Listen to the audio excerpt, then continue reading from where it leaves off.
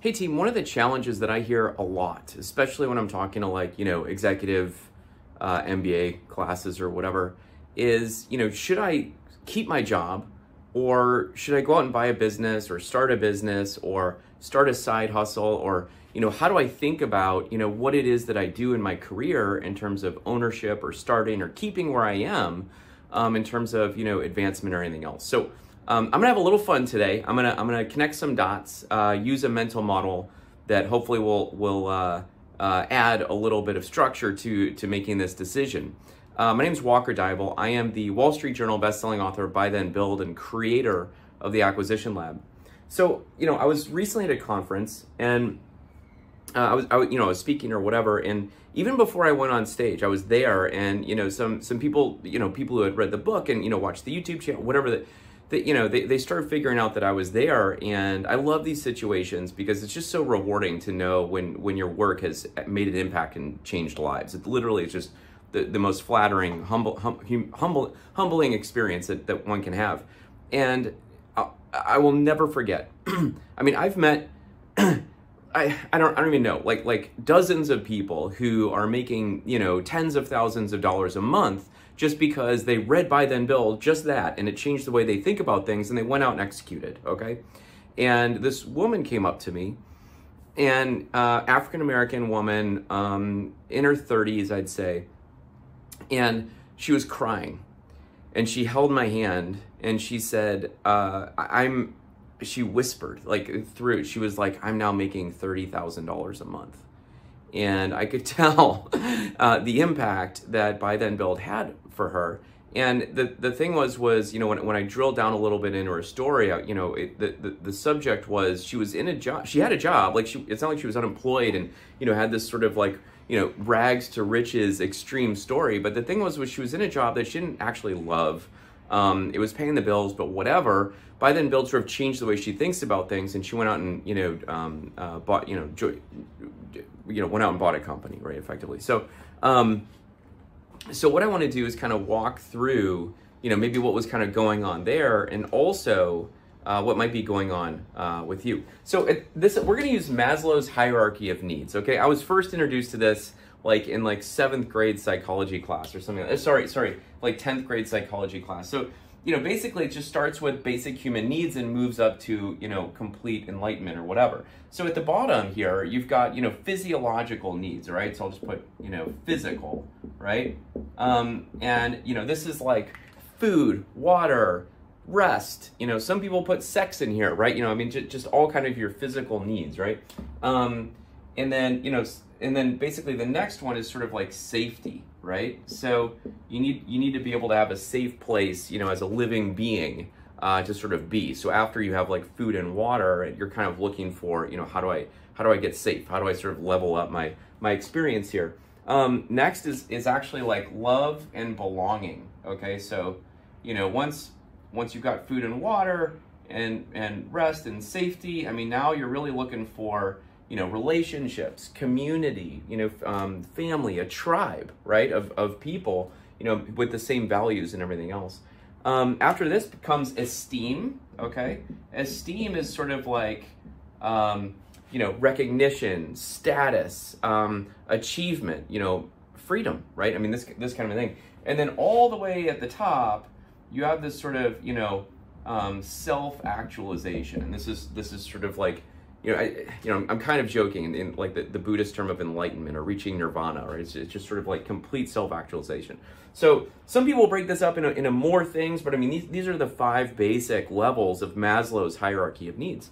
Now, if I if I take if I just kind of have fun with this and say, okay, what if we were to apply, you know, our sort of careers uh, to this kind of thing? What would it look like, right? And so I came up with, okay, you you know, just basic basic making ends meet you know, this is sort of this is sort of like you know your hand uh, to mouth um, kind of existence, right? You you know you're you're you're you're you know you might even be sleeping on someone's couch. I mean, you haven't you're you're you're scraping by. This is scraping by is what what's going on here. Then you sort of move on a on a safety, and I'm going to go with you know this is um, you have like you know any job like any job right that basically allows you sort of a, a, steady income, say, right? Like, you know, maybe some benefits, you know, wh- whatever. Um, you know, but uh, but maybe not much more than that. Maybe maybe if you're you know very aggressive saver like I was in my 20s and still am, um, you know, you might have you, you might be able to save a little bit at this at this time and, and whatever.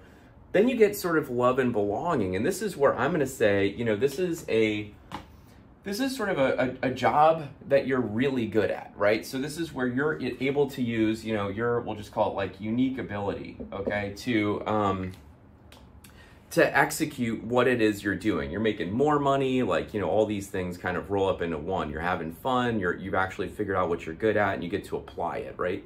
Um, usually with, with, a, with a team of people and, and other things like that. Um, then you sort of move up to esteem, right? And, and this, I'm going to say, uh, is you're becoming, you know, best in class, right? This is where, you know, you have a reputation, you know, you've got all, um, all kind of, you know, accolades, you know, maybe you're, maybe you're doing some public speaking in terms of like the things that you're doing, right? Things like that. Um, and you're on your way to uh, getting up here. I'm going to go ahead and call this like financial independence, okay? And what that means is that, you know, you, you have worked yourself out of a job, right? And you are, if you are completely financially independent and young enough to still like work and function and all the other stuff and not like on some beach retired somewhere, you know, this is, this is that moment where you sort of get to the top of your game and you kind of realize like you finally get to the top of the mountain and then you realize like, oh, there's, there's another mountain. Like, wow, it's bigger. Like I, I didn't even see that mountain as I was kind of climbing through here, right? And so, okay, the thing is, is like, Walker, I don't even see anything with business, with, you know, ownership and uh, uh, entrepreneurship in here. And what I'm going to challenge you with is that I think that the, the single fastest way, okay, for most, most people to reach financial independence or like real material wealth is simply through business ownership, okay? Um, down here, you know, this is that sort of like, if you read Buy Then Build, this is the sort of prep funnel that allows you to you know, use your invested dollars and your work towards active income in order to buy the sort of best business, you know, kind of available, right? Then once you get up here, you know, this is kind of like where you're able to kind of, you know, invest time and money to become, you know, the best and work towards this financial independence, which, you know, I, you know, effectively 100% of millionaires own their own business. I mean, it's just a fact. So the truth is, is that the fast, the single fastest way to sort of accelerate from just having a job or a job that you love, okay, or even best in class, is simply to uh, go through business ownership, okay? It's simply all of the empirical evidence suggests this.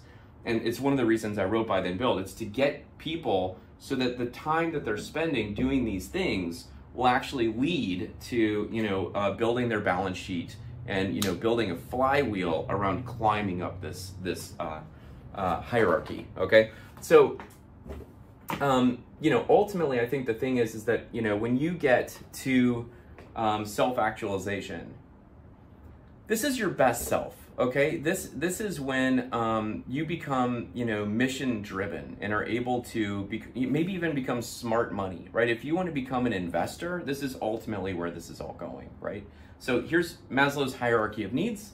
Here's how they apply to uh, the work that we do out there, and here's the secret accelerator uh, to, to go ahead and, and get all the way through it. So listen, if you are looking to buy business in the next one to 24 months, consider the Acquisition Lab. We built the elite uh, accelerator around uh, business acquisitions. Uh, anchored in world-class education, all the tools, resources, supplier networks that you're going to need um, we've got, you know, 14 uh, different advisors. We use Diamond approach to advisory. We've got, you know, a full Slack channel and almost daily uh, coaching calls with these advisors. Lastly, uh, we've got a vetted community, right? We're the largest vetted community of uh, business buyers in, in the world. And, um, you know, it's, it's one of these where only 25 to 30% of applicants are extended an offer to enroll.